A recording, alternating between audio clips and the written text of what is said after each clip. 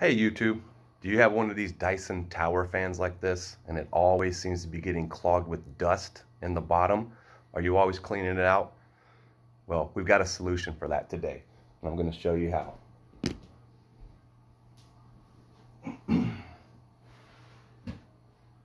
Let's start by unplugging it.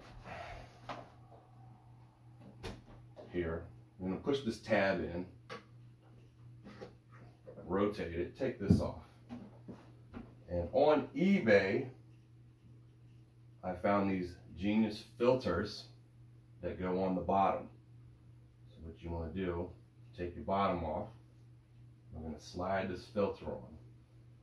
It's exact fit. You have to be careful. I broke one putting it on earlier. So just take your time. And it's actually a filter, like a foam filter that goes over these intake ports here.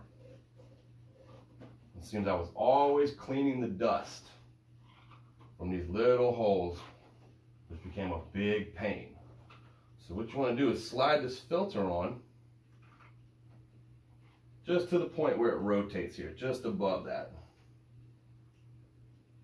And I have the black fan here, of course, and this charcoal colored filter seems to be an exact match.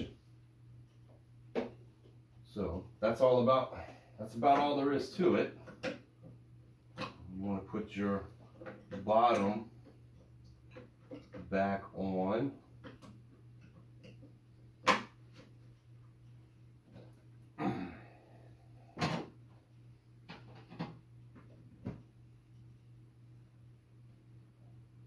Gotta plug it in. Here's the one I took off earlier. Not sure if you can see. You see all the dust accumulation around the middle here. So it really does work. Like I said, I found them on eBay and I will put a link in the description if anybody else is interested. And I will turn it on. And you can really tell the difference, the quality of air coming out.